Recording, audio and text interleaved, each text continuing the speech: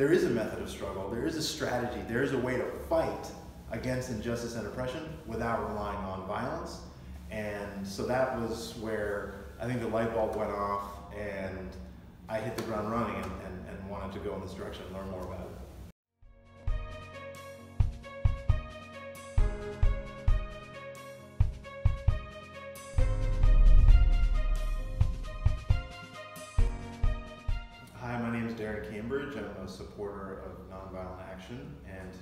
Talk about my work with international human rights.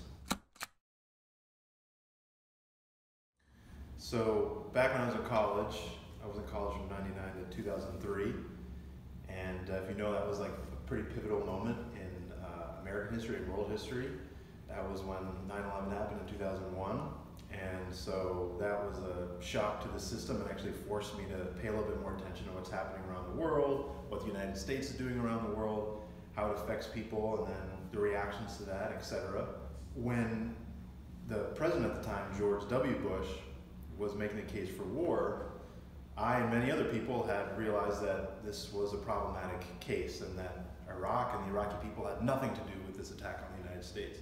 So I became really politically active, very much anti-war when that war broke out because that was a moment where on your television screen you could see just bombs and missiles exploding and what I saw was people's homes, businesses, families, their livelihoods being destroyed. And these are people who had absolutely nothing to do with the attacks on 9-11.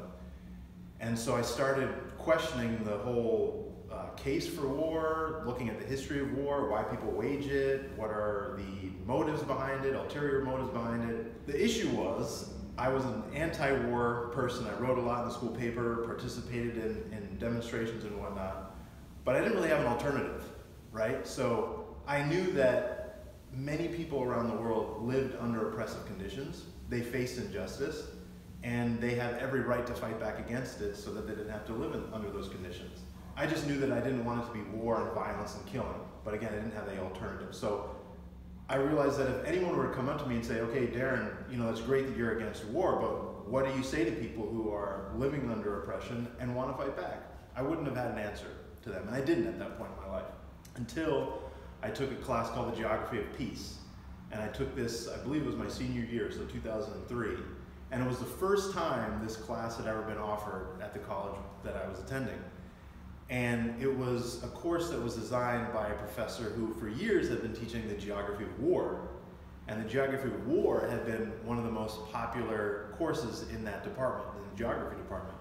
And so he was responding, reacting to 9-11 and the war in Iraq in similar ways that other people were and realized if I've been teaching geography of war, what's the geography of peace? And maybe that should be taught as well. So took the class and that was a transformative experience because it exposed me to perspectives, histories, individuals, moments in time that had a huge impact on history, but wasn't war and wasn't killing and wasn't violence.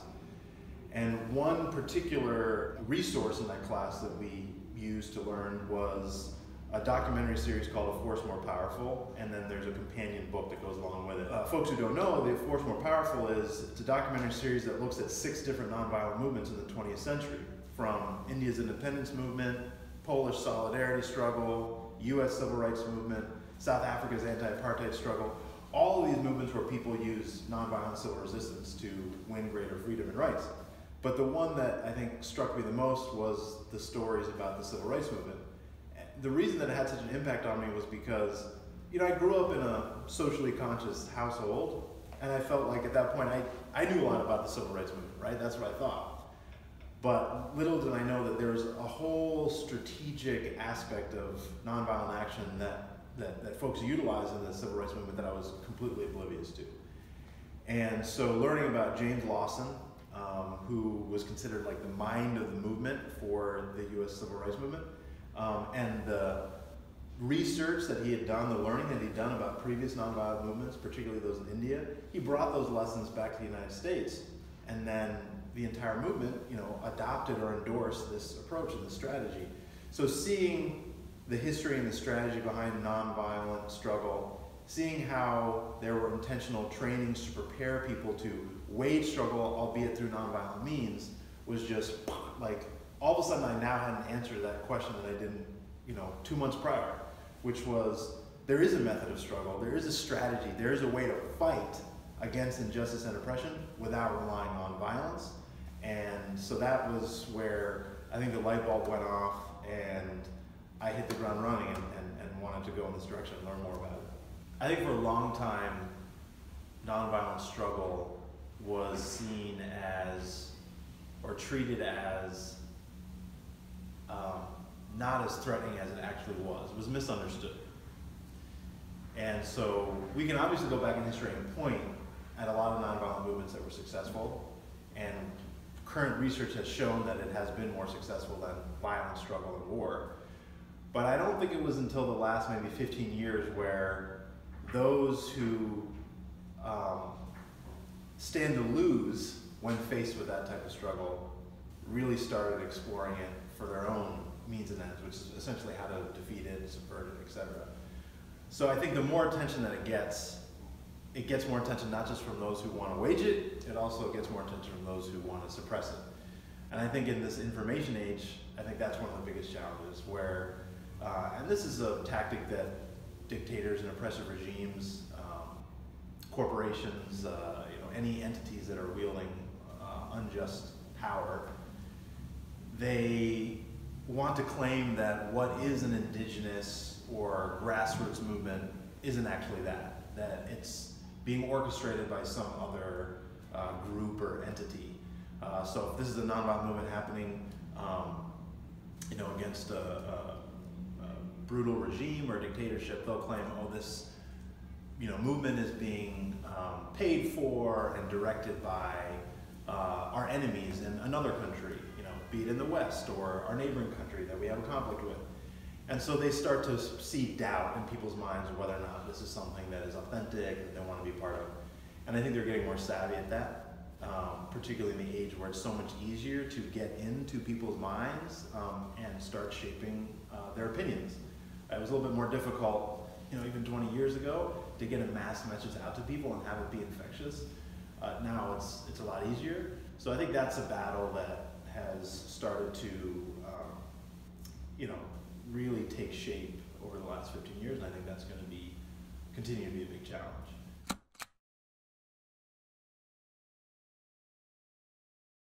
For a long time, nonviolent struggle was seen as or treated as um, not as threatening as it actually was. It was misunderstood.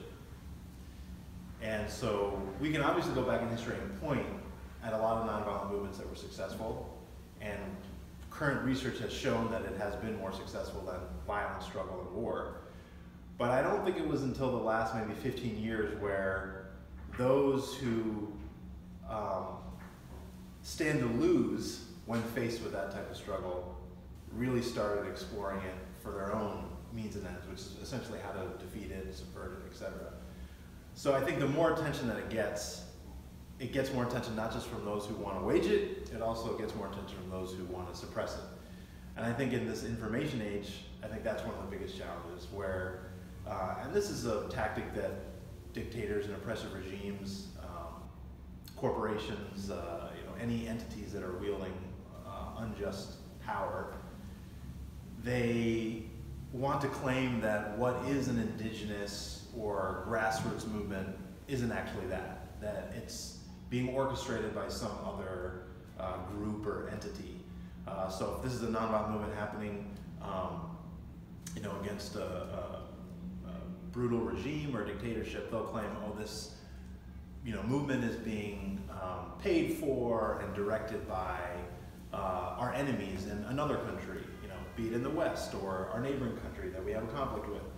And so they start to see doubt in people's minds whether or not this is something that is authentic, that they want to be part of. And I think they're getting more savvy at that, um, particularly in the age where it's so much easier to get into people's minds um, and start shaping uh, their opinions. It was a little bit more difficult, you know, even 20 years ago, to get a mass message out to people and have it be infectious. Uh, now it's it's a lot easier. So I think that's a battle that has started to, um, you know, really take shape over the last 15 years, and I think that's going to be continue to be a big challenge. Um, I'm trying to think of other challenges. Because uh,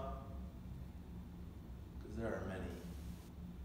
Um, I mean, that was definitely a great answer. Yeah. I think in the era, in the information era, the misinformation is just as important and be able to determine bias and fact checking and source checking and kind of understanding what you're reading and not just buying into it is something that's you know fluctuated in the more recent era. Yeah.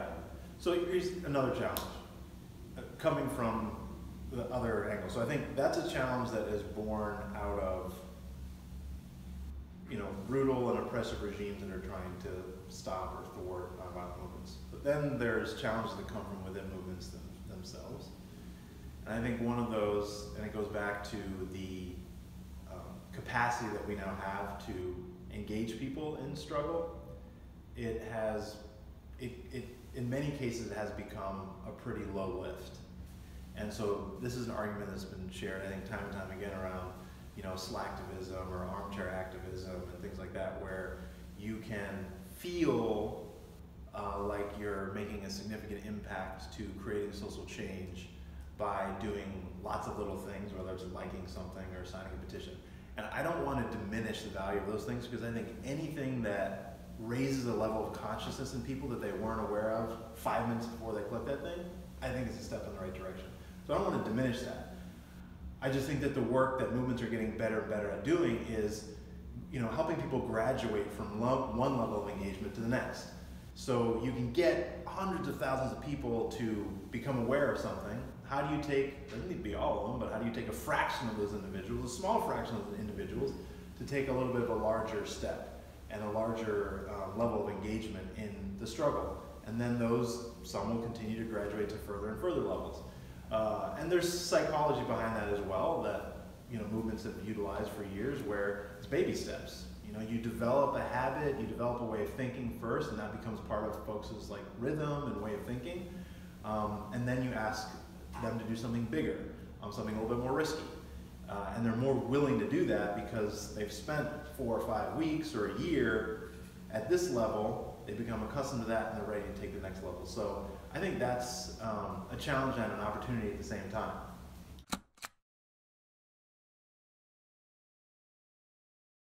Yeah, I mean, I support Nonviolence International because they've been on the front lines of uh, nonviolent social change across the world for years, decades, um, 30 years um, as the timing of this interview. So uh, there's not a lot of organizations out there that fit that description. And an organization that has international um, connections and breadth is also quite rare. Um, and the ability to actually affect some type of change. So there might be organizations that have awareness of movements that are happening around the world in different countries and different cultures. Um, but the more you spread yourself, the harder it is to really go deep with some of those movements. Um, versus organizations that focus on one particular issue in one particular region or part of the world, and then they can go really deep there, but their, their ability to impact things outside of that are somewhat limited. I think Nonviolence International um, has remarkably created a good balance between that because it's been a small operation for a long time. And I think a lot of that's just built off relationships. I mean, you have someone like Mubarak Awad who, you know, has literally on the front lines of the Palestinian struggle, um, and taking that experience, taking those lessons, taking um, those relationships, and turning into something even bigger that other movements around the world can can learn from, gain inspiration from, and uh, that takes a lot of uh, that takes visionary thinking. Um, I think another reason that I support Nonviolence International or how I kind of developed a relationship with Mubarak and, and, and Michael uh, in particular is a connection we have with American University in Washington, D.C. So we've all have taught there in some capacity or another over the years. And American University, I, I went there for my master's degree and taught there for several years. I celebrate that because American University has a lot of great courses and programs um, and groups and initiatives rooted in peace education, nonviolence, and so forth. So Mubarak and Michael have taught courses. There's folks like Barbara Wien, Colman McCarthy. Uh, the list goes on and on. And I've always felt like American University is part of this rich tradition of you know handful or dozens of other universities around you know, America and, and around the world that really invest in this as uh, an academic discipline and as uh, a trajectory for students to, to, to, follow. So that's been admirable to just watch them as just organizers, first and foremost, and then two, uh, managers of an organization. That's a whole other skill set. Uh, staff and finances, strategic planning.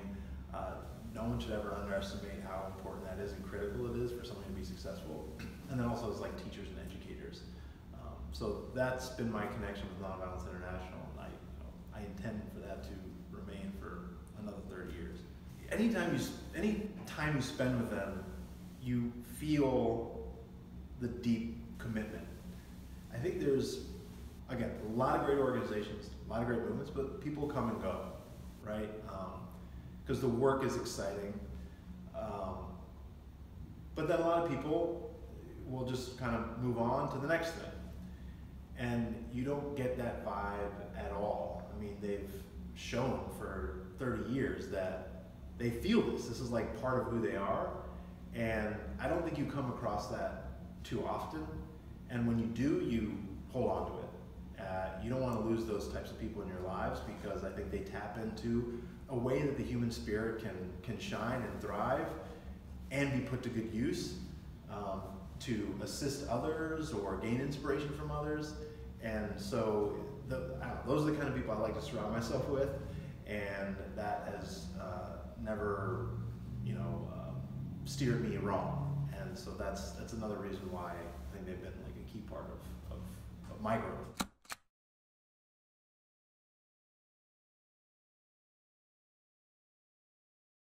Yeah, storytelling is what people gravitate towards. It's entertaining. That's not the best word because it's oftentimes associated with just kind of um, mindless entertainment but it's entertaining in the sense that it draws you into an arc that you want to follow and you want to see to the end. And I think when we talk about like abstract things that can seem abstract, theories or approaches, be it through peace building or nonviolent action, it's a little bit harder for people to get on that train and continue it to its end. Um, some people totally into that. Um, others not so much. So I feel like a great avenue to get people to get on that train and understand those perspectives is through storytelling. I mean, the whole example I gave around A Force More Powerful in the documentary series, I got into it because it wasn't a theoretical exploration of civil resistance. It was the story of an actual movement and the individuals within that movement.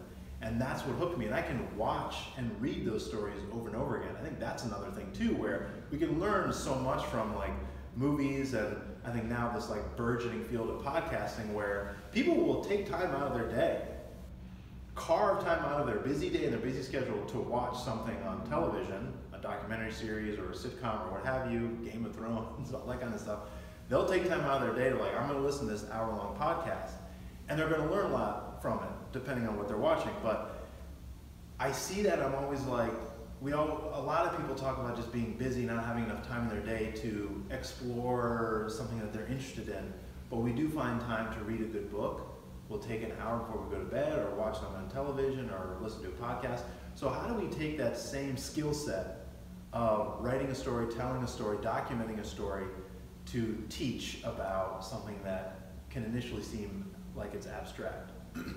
so you know, a lived experience with that has been when I worked at the U.S. Institute of Peace, we were designing courses, teaching courses on peace building and negotiation and conflict transformation and nonviolent action. And uh, we would provide a lot of the theoretical concepts that are important for this work. But we also had these connections uh, to a lot of individuals who have lived experience practicing or seeing these concepts in real life. And so we, instead of doing the webinars, um, which can tend to be just you know PowerPoint presentation and you know people just kind of get sharing these like theories. It quickly transformed into let me help someone tell their story and unpack parts of it that is relevant to the learning, but also maybe unpack parts of the story that they hadn't even unpacked yet. And that was some of the most like fascinating work, at least for me, and I hope for the learners to again explore these skill sets and explore, explore these concepts through someone's story. So I, you know, I always one of my goals when I would sit down and like host and interview people for this podcast was to start the podcast just by you know building rapport with the individual, and I'd always try and ask a question or prompt them with something that was going to reveal something about themselves that you couldn't find searching about them online. Um, I didn't want to just have them repeat things that you could get again in the jacket of the book that they wrote or the CV that's on LinkedIn or something like that. It was what's an angle that's going to get people to be like, oh wow, there's this interesting connection that I have with you on a human level, not so much like what your professional identity is, your accolades and things like that. Um, so that that was I think a really good experience, and I think a lot of people walked away from those interviews saying like, that was a really good experience for me too. you know, it's like we had this hour long conversation, an hour and a half long conversation, and I'm thinking about myself and my work and my history in a way that I, I wasn't before. So I, I think it has a benefit not just those who are hearing the story or reading the story, but also those who are unpacking their own story or, or writing it themselves. Uh, so that's always been a, a good experience. I think broadly for teaching, I'm a huge advocate for embracing technology where appropriate. I think you know there's some who are like, just stick it to old school, chalkboard and chalk, desks in a you know uh, brick and mortar classroom, lecture hall, whatever. I think there's a time and place for that. Then there are those who are like all in for technology. We're moving in that direction. Um, it gives us a lot of advantages, and we can connect with people across great distances. We can do it online from wherever we are, et cetera, et cetera. Um, the way that I approach technology and teaching and learning is use technology in a way that allows you to do things that you are unable to do in a face-to-face, non-digital, no-tech space. Don't try and recreate the face-to-face experience through some form of technology. I think from my experience, as someone who's maybe attempted that or also been on the receiving end of that as a learner, it always fails. It's never as good, right? Like there's something really powerful about sharing physical space and time with other breathing bodies with a heartbeat. Right? Even if it's in a lecture hall. Some people don't like lectures, but at least you're sitting next to somebody, you, you, you feel their presence, um, you can read people's body language, you're getting all the senses when you're in a physical space with folks. So I think in the early advent of like tech, learning technology and online courses, it was like, hey, this is great. We're gonna pop a camera in the back of this lecture hall, we're to film it, we're to put it online, and then people will watch it and they're going to get the same experience. But they don't. I mean, we've had this thing where it's like, it's one experience to experience a lecture in a room um, with others in real time. It's another to watch it on your laptop or on your phone or on your desktop or whatever. Um, it's just a different experience. So I'm not interested in that at all.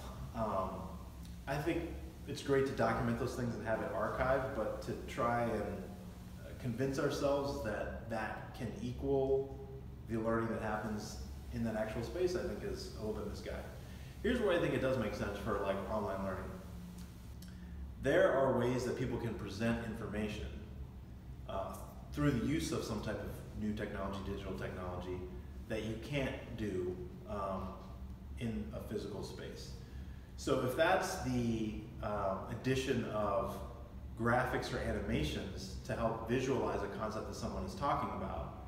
If I'm in a lecture hall giving a lecture and I'm trying to explain something, I've got the vision in my head about like how to think about this, and I might have a slide or two or something, but I can't have it pop up like you know in the middle of the of the space here as I'm talking to just to kind of explain and visualize what it is I'm talking about. So that's something you can do using digital technology you can't do in the classroom. I think another example too, and there's this there's a subtle art to it. I think it can be abused, but music and sound effects. I think anyone who's listened to a good podcast realizes that they're like, I'm so invested in this story and I'm following along, and sometimes I don't even know why they're so hooked on it. If you go back and re-experience that, sometimes it's just the sound effects, maybe it's the ambient sound, maybe it's an actual musical track that's tapping into emotions that they want you to have as, as a listener. And so I think that's part of it as well. If you're trying to convey an idea or share a story, you can provide bringing that musical uh, layer to it.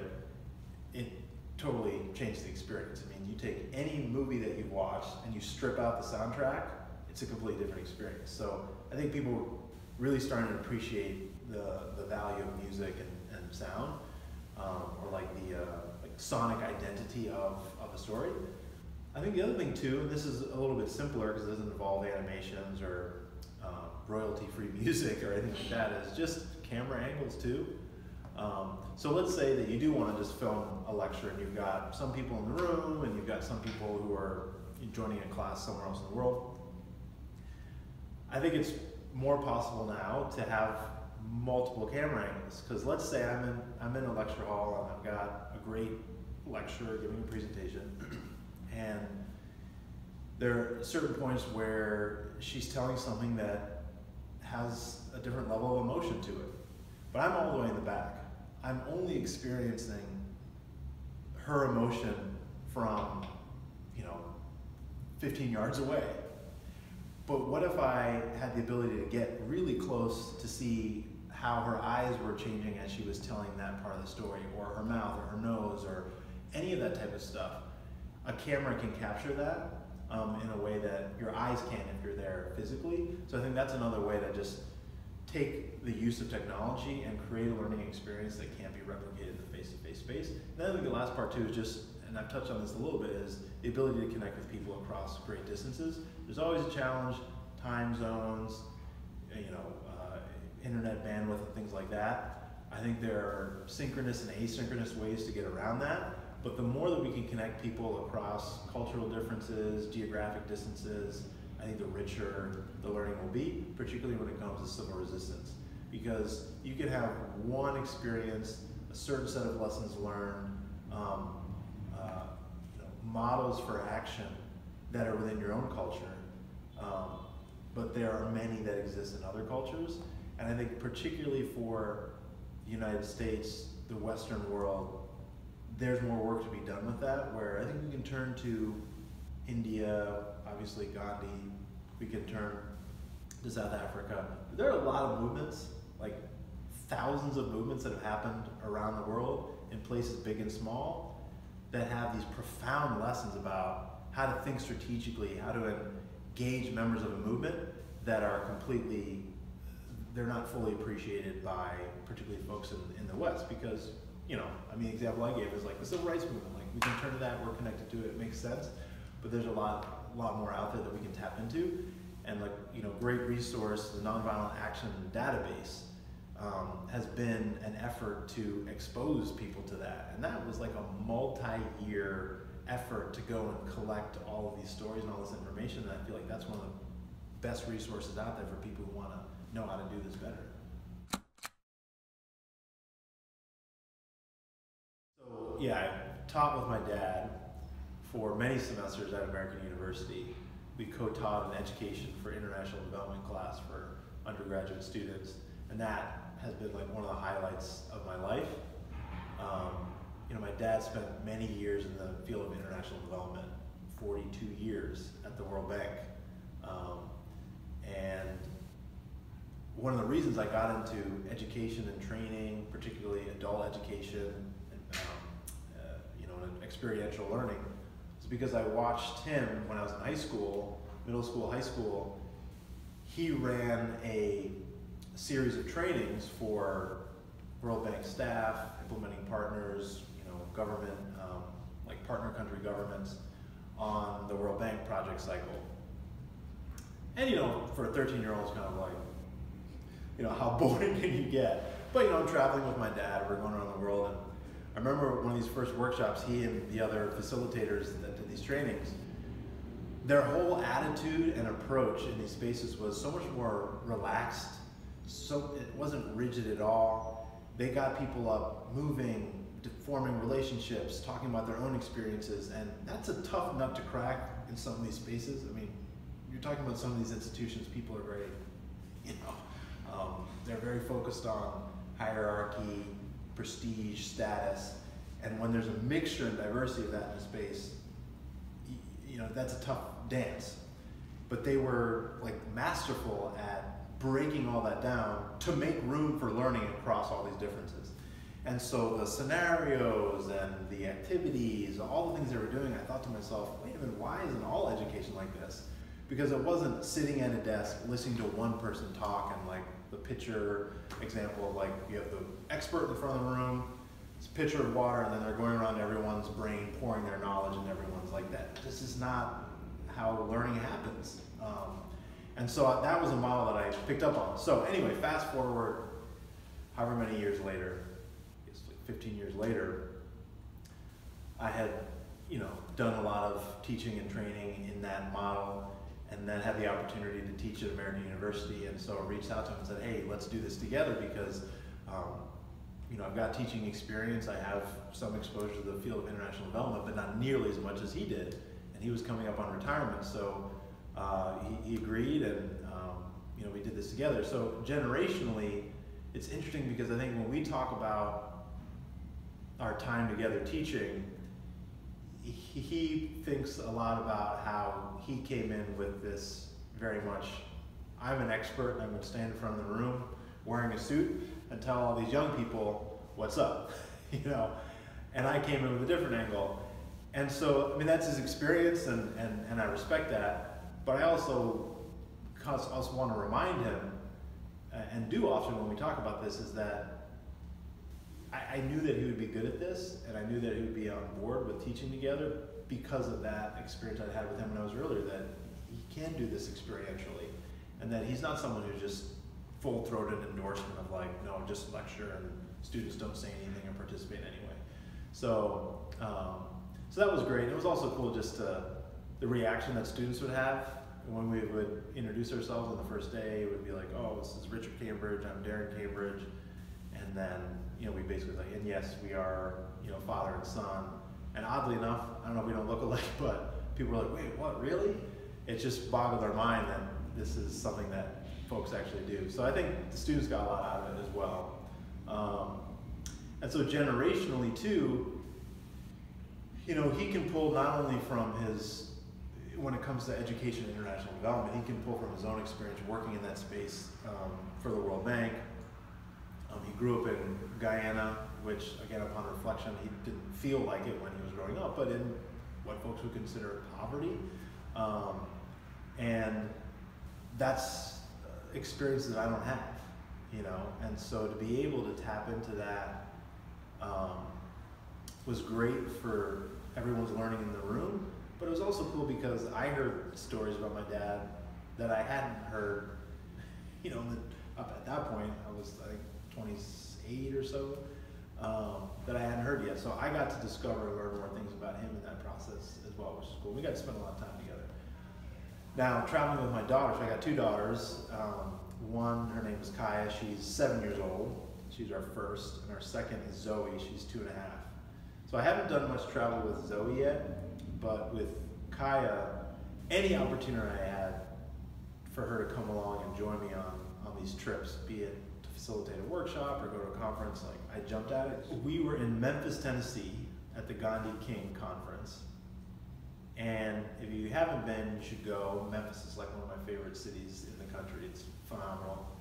And they have the uh, Civil Rights Museum is in Memphis, and it's built uh, next to uh, the Lorraine Motel, which is where sadly Dr. King was assassinated. Um, so they have this amazing museum there and I took her to it. And I'd been there like four times before, so I knew the things that you would see, the things that you would hear. I think she was maybe four at the time. I think she just turned four. And the first room that you walk into when you go in the museum is about the slave trade. And you walk in, you turn to the right. The first thing you see is a statue of slaves bound and chained together like this in the same way they would have been in a slave ship. And you turn to your left, and there's a statue of a mother on an auction block holding her child. And then you look down on the floor, and it's a map of the world with all the slave trade routes. And I'm there with a four, my four-year-old daughter. And I'm like, I don't know what questions she, she's going to ask. I haven't really thought about how I'm going to respond to them if they come, but you know, we're going to do this together. So she was asking, "What's that? What's this?" And I said, "Well, you know, these are statues of slaves. These are people who were stripped from their families, stripped from their homes, taken to other parts of the world, and forced to do things that they didn't want to do. Um, and it's a horrible moment in history. Still happens to people today. Um, and this is an example of some of the ways that they were treated. So, I mean, she's four, but I'm just to be real, right? And she's there. She has a little notepad. She's in the stroller. She has a little notepad. And she's four. She doesn't actually know how to write words and sentences yet, but she's like just scribbling on the pad. She goes, I, I want to write this down. This is really important. it's like, like, what is happening here? You know, she was like really thinking about this. So anyway, we make our way through the museum, and there's it's a lot of visuals, a lot of videos, things that you're you're seeing. So the next room, one of the next rooms, is about the Montgomery bus boycott. So they have a replica of the bus from uh, Montgomery, and you can walk in it, and you can sit in it. And when you walk into the bus, the statue of the bus driver is he's the wheels here, he's turning like this, and every 15 seconds or so says, "Hey, get to the back of the bus," and he yells at you. So I'm on the bus with my four-year-old daughter, and we're taking this all in. And so, you know, we sit on the, on the chair, and, and I explain a little bit about how, you know, there was a time where if you were black, they force you to sit in the back of the bus, and we get off the bus, and then there's this great mural of all these um, police photos of women, all women who were arrested for refusing to sit in the back of the bus. So, yes, there's Rosa Parks. There are dozens and hundreds of other women who risked arrest. So they have a picture there, their mugshots with their number, prison number. And I said, hey, let's just take a look at all these women here who refused to sit on the back of the bus and let's look at their faces. Like, what do you think they were feeling in this moment? Some, you know, just looked exhausted. I mean, they're barely awake. Some looked angry. Some looked defiant. Some were smiling. There's like a mixture of things. But we were able to talk and explore a little bit about like how do you think people feel when they're told that they can't do something and they're disrespected as a result of that and they refuse to live like that anymore and then they had to face these consequences. So that, that was just like an intense experience. But then we go to the next room. There were, I think, images of people getting sprayed with hoses and dogs attacking young people, and maybe she was seeing that. I don't know, but she says, "Dad, I, you know, I want to go." And she went from just interest, excitement, curiosity to like, I, I, I can't take any more of this in, right? And she looked very somber and very sad. And I said, that's fine. Let's make our way through the rest of the rooms. And, know, because at the end of the day, she's four, right? Um, and so she was very silent for a while. We walked back home and we got back to our hotel and, and, you know, it had been like 40 minutes at this point. And um, I felt like she was at a point where we could debrief or talk about it a little bit. And I said, hey, you know, I just wanted to like check in. And you, know, you seemed kind of sad at the end. When we were at the museum, you know, you want to share with me a little bit about what you're feeling. And she just said, you know, she said, you know, I saw a man who had been hurt. You know, I don't know if it was like,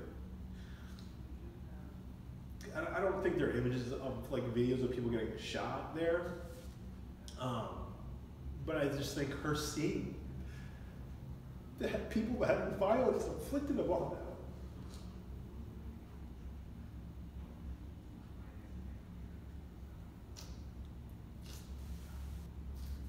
You know, it was a lot.